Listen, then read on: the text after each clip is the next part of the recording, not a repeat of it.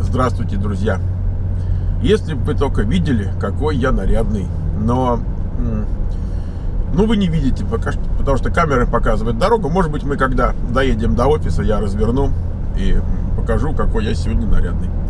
Э, значит, э, почему нарядный? Потому что мы с Софией идем на встречу с большими какими-то начальниками э, довольно серьезной компании, которая делает электронные учебники. Я не знаю, вы в курсе или нет, но сейчас это невероятно большой бизнес. И эти учебники есть и в печат, напечатанном виде тоже. Но можно их купить, например, вот э, в магазине, они сколько-то денег стоят, а можно взять э, в аренду э, электронно, там, скажем, на год. И э, тогда это намного-намного дешевле. И сейчас это э, очень сильно распространяется, большой бизнес, несколько компаний есть ведущих. Вот э, одна из них недавно буквально вот вышла из бизнеса. Сейчас мы, там много наших ребят работало, мы сейчас так видим их, что они заходят там, э, резюме подправить, так перекинуться там и так далее. А, а другая компания, мы там однажды снимали сюжет про э, индийский праздник Дивали. Кстати, наверное, даже не один раз снимали, а несколько. И последний раз мы снимали у них в новом офисе в даунтауне Сан-Франциско. И мне пришлось убрать потом этот э, ролик, он там недолго пробыл, потому что, ну, как бы были там претензии по изображению внутренностей вот этой компании. А там очень прикольно э, внутри, то есть что-то невероятное.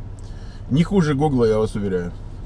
Так вот, эм, там у них большой QA-департмент.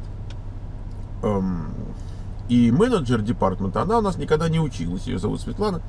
Она у нас никогда не училась, но она у нас постоянно подбирает народ туда, на работу.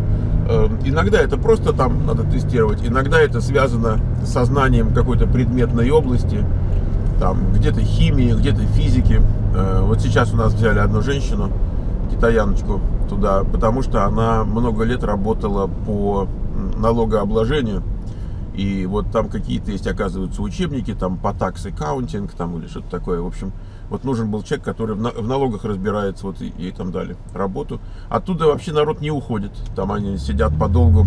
Был момент, когда они переехали из долины в Сан-Франциско, и многим стало неудобно ездить. И вот какой-то был отток народу, но тоже не сразу.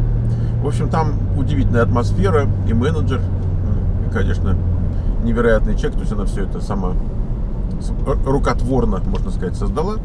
И у них 50 человек там QA, из которых, ну, может быть, парочка не наших.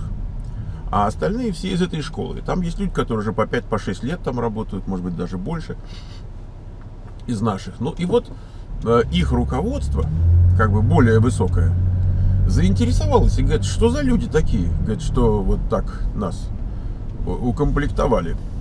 Эм, ну и, соответственно, да, нас туда вот приглашают поговорить. Мы еще на самом деле а, тестируем прямо в школе для них. То есть у нас есть, а, вот если вы помните Анну из Гугла, да, такую блондинку такую из, города Кургана. Так вот, Анна, которая из Гугла к нам пришла, значит, многие говорят, а чего она из Гугла к вам пошла? Она у нас э, э, Project Lead или Team Lead, даже не как ее правильно назвать. Значит, она ведет э, этот проект, помимо других дел, которые она делает, когда есть свободное время, значит, она ведет проект для этой компании. И там, ну, может там до десятка студентов участвовать.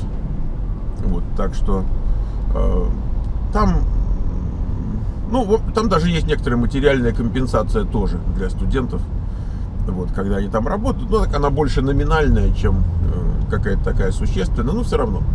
И мы в этом смысле как бы, что называется, on call. То есть, когда есть эм, продукт какой-то, вот перед выходом его, значит, его нужно потестировать. И там может занять ну, несколько дней.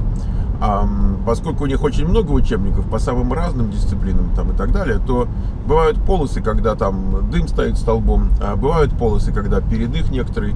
Поэтому все такое не, неровное. Это не то место, где можно работать и зарабатывать, но это то место, где можно как бы там за символическую какую-то оплату участвовать в совершенно реальных проектах. Поэтому мы вот э, создали такую должность у нас там в коллективе, но нужен человек, который все-таки понимает тестирование, он ведет этот проект. Вот Анна у нас ведет этот проект. И сегодня я нарядный из-за этого. Вот. Давайте, может, пока тут тормознулось, я вам себя покажу. Так. Ну, готовьтесь. Бабах. Вот такой я нарядный. Э, в жилеточке, в черные брюки черные. Но вот, когда я смотрю в зеркало, я думаю, только еще ермолку одеть и буду таким настоящим патриархальным евреем. Ну, вот. Ну, а так вот вроде без ермолки даже не знаю, что делать. Вот, вот это, это, это у нас нарядное. Я помню, была такая фраза, я много лет назад, значит, ее услышал. Э, ну, там про Израиль там всякие шутки были, и там говорят, что вот что вы, вы уже достаточно давно прожили в Израиле, если, и вот там идут разные хохмочки, вот одна из них была, э, если, когда говорят, что нужно при, при, приодеться, начинаете со вздохом натягивать носки.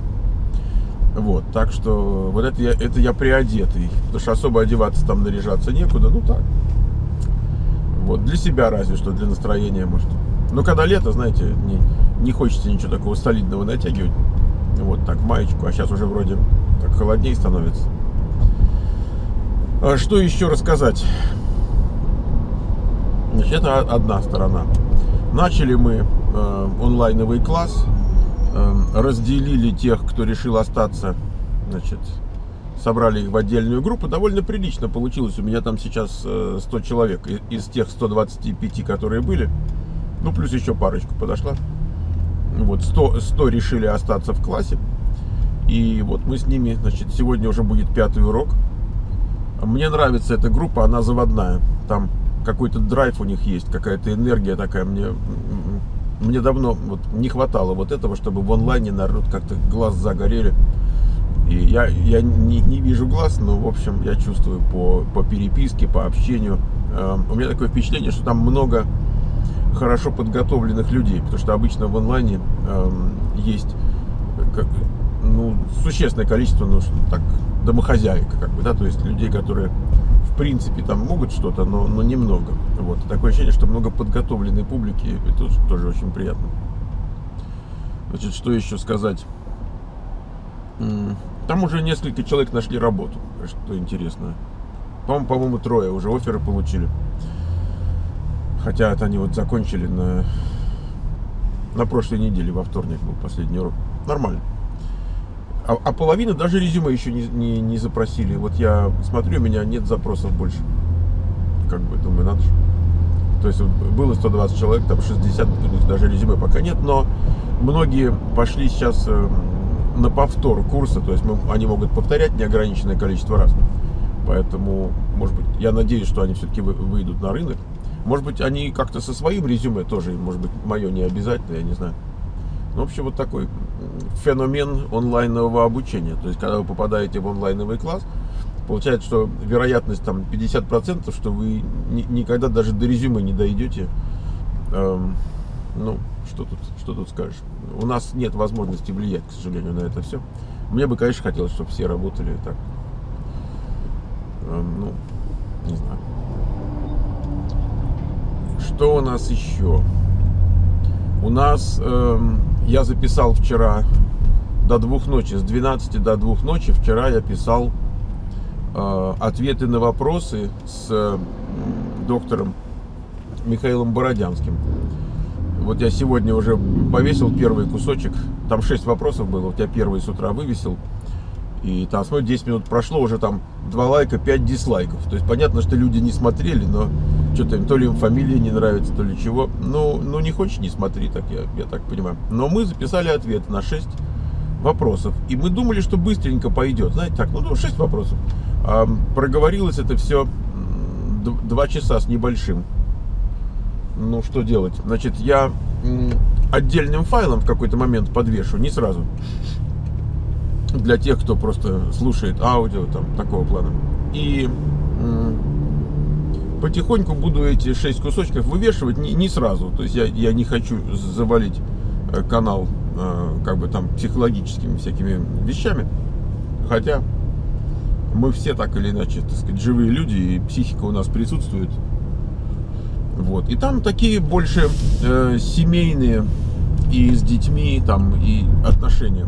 Как, как, как быть в том случае, в этом случае. И я, задавая там наводящие вопросы, я пытался какую-то иммиграционную составляющую э, этому всему дать.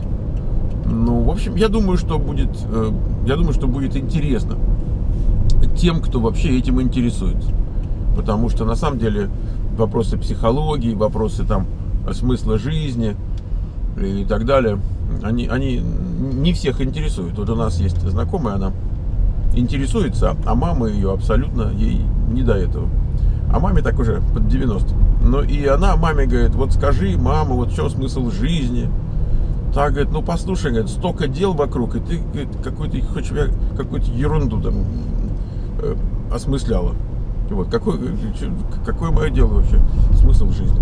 Поэтому, а есть люди, которые интересуются. Поэтому вопросы психологии, вопросы семейных отношений, вопросы отношений с детьми, я считаю, что это вопросы бесконечно важные. И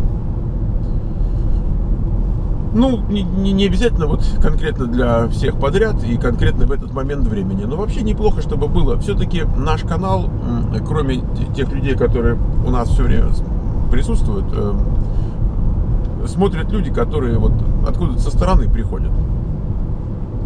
И я могу сказать, что статистика YouTube позволяет мне видеть, э, откуда идет трафик, э, отдельно по подписчикам, отдельно по не подписчикам и сейчас я скажу, ну и, и совместно. Значит, так вот получается такая история, что если мы посмотрим на поиск, на поиск, то подписчики поисков почти не делают. Ну, скажем, э, подписчики делают 5000 поисков за месяц. 5000. Не подписчики, ну, те, кто приходит на наши видео, да, вот, значит, 5000 просмотров э, от наших подписчиков, которые делали поиск и 65 тысяч просмотров за месяц от наших не подписчиков, которые попали на видео, делая какой-то поиск. И вот э, это довольно существенно. То есть по не подписчикам э, это, поиск это 16%, 16% просмотров. Это очень много. Каждый шестой. Поэтому я иногда какие-то темы поднимаю, которые с одной стороны, я считаю полезными, интересными, с другой стороны, такие, которые могут привлечь людей, которым, может быть, иммиграционная тематика не так интересна. У нас есть достаточно много народу, которым иммиграционная тематика не так интересна. Им больше интересно про жизнь в Америке, чем, например, как туда попасть. Э, и я, на самом деле, с большим уважением отношусь к этому. И у меня нет такого, знаете, желание, чтобы каждый человек, который попался, обязательно, чтобы вот он эмигрировал, а то как же он бедный там сейчас пропадет. Нет такого абсолютно. Вот, так что там есть очень интересные рассуждения о связи человека с Родиной, о том месте, которое страна, где он родился, должна занимать в его жизни, в его отношении к себе и так далее. Эм, это может быть не самый первый, не самый первый вопрос, который мы обсуждаем, но мы об этом тоже там говорим. И, э, в общем, там разговор выходит все время за рамки того вопроса, который был задан, потому что есть очень много вопросов, которые относятся слева, справа, сбоку. И я уже как зритель, то есть вот я сижу и с одной стороны мне самому что-то интересно больше, что-то меньше. С другой стороны, я, конечно, больше как на работе, то есть я в интересах нашего зрителя, в том смысле, в каком я понимаю нашего зрителя, и мне хочется сделать для него какое-то такое, знаете, ну, развлекалово, э, чтобы оно полезным еще было и так далее. Поэтому ну, я старался так, как бы вот задавать всякие вопросы, которые по ходу дела возникали, чтобы немножко э, было, может быть, повеселее. Ну, в общем, кому интересно, те посмотрят, а кому не интересно, Э, значит, я думаю, что вы тогда уже не ходите туда и не ставьте свои дизлайки, потому что дизлайки влияют на продвижение видео в поиске.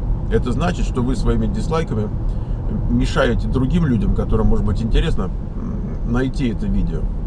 при том, что вам не интересно, и вы не смотрите, и, в общем, какой-то такой разрушительной деятельностью занимаетесь, и в первую очередь себя разрушаете вот через это. Я, я так считаю. То есть, как бы, ну, не нравится, не смотри, не ходи. Там же написано же, ты же видишь лицо, ты видишь там, о чем разговор и так далее. Да, ну, еще раз, это ваше личное дело, то есть, может, вам от этого настроение улучшается. Так, вот. Бабах. Мы, мы на, на светофоре. Ну, давайте я разверну камеру обратно. Так.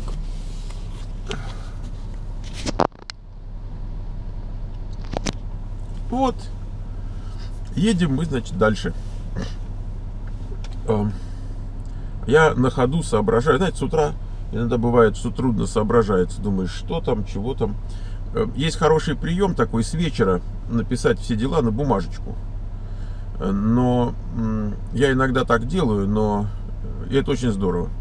Но как-то вот не сейчас. Я только помнил, что мне нужно одеться прилично. Вот мне София сказала, оденьтесь бизнес-кежуал. Потому что там большие начальники. Мне надо еще не забыть сейчас бизнес-карточки в карман сунуть. Мы думали, может, какой-нибудь им принести сувенир. Ну, ну как-то вот нам тут говорят, что сувениры не очень прилично нести. У нас есть, правда, э, шикарная коробка шоколадок. Кто-то привез из, э, ой, боюсь соврать, то ли из Белоруссии, то ли из Казахстана, такие хорошие, 80% значит там какао. Ну, и так смотрится неплохо. Можешь с собой взять, я не знаю. В общем, сейчас будем решать все эти вопросы с Софией к двум часам. Сейчас у нас 10 э, часов 20 минут утра. А к двум часам мы поедем, бензин-то есть. Ой, мама, бензин-то немного, надо зарядиться. Ну, хорошо. Еще говорят, постричься надо. Мне жена говорит, ты бы постригся, а то ты, говорит, ходишь так как-то не солидно. И это, кстати, неплохо постричься, потому что вроде даже моложе как-то выглядишь. Мне еще Наталья Квик прислала несколько пробничков, э, вот так, чтобы это под глазом подмазал, значит, и мешков нету. Вот как. Я вам скажу, если, например, если бы не эти пробники, я бы никогда и не думал, что у меня есть мешки где-то под глазами. То есть, как бы это надо всматриваться, э, туда какую-то энергию слать, там, думать об этом. Вот. Но она сказала, Миша, вот ты поставь камеру, намажь, там еще инструкция. Я бы уже, наверное, снял какой-то сюжет на эту тему, но там инструкция на 3-4 страницы, мне сложно ее читать. Ну, в смысле, не то, что сложно, время, времени нет. Но она говорит, поставь камеру, и вот пусть все видят, как на глазах, значит, у тебя это все превращается, значит, в гладкую кожу. Это София приехала, ее сын привез. Так, значит, тоже нарядная какая, видите, у нее такой песочного цвета костюм. Так, есть там место или нет? Ну, пойдем исследовать. Я люблю здесь стоять. Если есть место, встанем. Нету. Нету места. Да. Вот так ушки. Э, у нас соседи э, с первого этажа тоже вот справа сейчас вот их офис. Эти соседи это такая организация, которая занимается, как вам сказать, structural engineering, то есть они при строительстве там его, у меня нет, нет русской терминологии для этого дела. Ну, в общем, structural engineering. И они переезжают в другое место. Они занимают, наверное, две трети этого этажа, а мы примерно треть а может быть даже и, может они даже и три четверти, а мы четверть. В общем, они уезжают, у нас сейчас с паркингом будет получше. Я не думаю, что они там за неделю кого-то найдут. Кроме того, когда строительство, э, строительство, когда новый жилец, рен, э, рентер, да, надо под него какую-то перестройку делать. Поэтому сделается план, потом, значит, делается сама стройка. Все это какое-то время занимает. И я думаю, что мы какое-то время будем получать удовольствие от жизни в силу того, что у нас будет больше паркинга прямо возле нашего офиса. Ну, что, ребят, я приехал и пойду смотреть, какая красивая София. Вот, ну давайте я еще раз поверну. О. Вот, София красивая, я красивый. вы красивые, а кто досмотрел вообще еще и жизнерадостные, наверное, веселые, потому что это надо выдержать все. Но, в общем, кто досмотрел, тем двойное спасибо. Ставьте лайк, там кнопочку нажимайте и все дела. Счастливо!